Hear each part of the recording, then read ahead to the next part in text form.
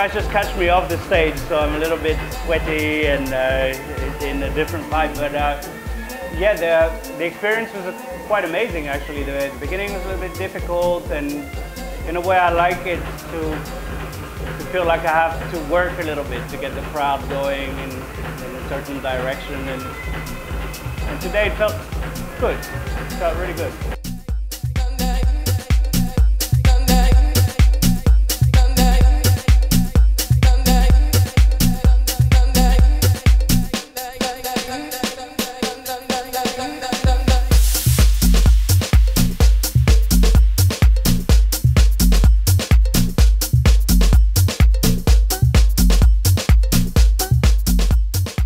I, I tend to come into a club and not expect anything in a way. And uh, I came in tonight and I was quite surprised to see that the, the people who were here had the same kind of uh, enthusiasm that I, I had personally when I first came into clubs when I was 18, 20 and didn't really know so much about dance music and I was just so happy to be here and you know really open to, to different things.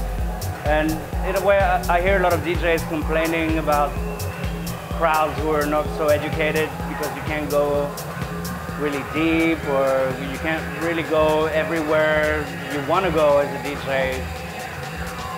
But I, I, felt like tonight I could do this and yeah, I had fun. I, I had a lot of fun.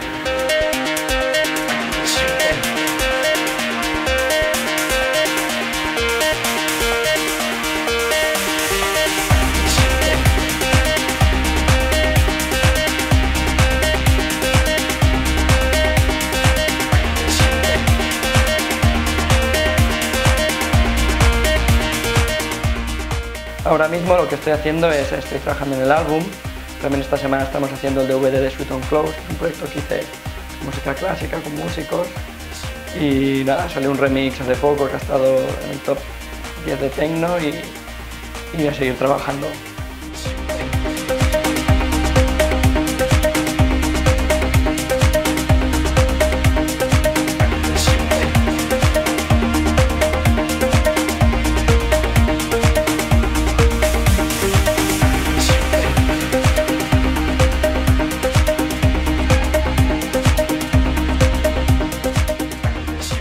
Pues la verdad que la experiencia ha sido muy buena. No, sabía qué iba a pasar y, en principio tenía que estar dos horas tocando, he acabado cerrando, he hecho tres, casi tres horas y media y muy buena, muy buena y el trato increíble. Hemos ido a cenar a un sitio, he comido súper bien y, y, ha sido muy, muy, muy buena experiencia. Estoy súper contento. He acabado con los pelos de punta con la última canción.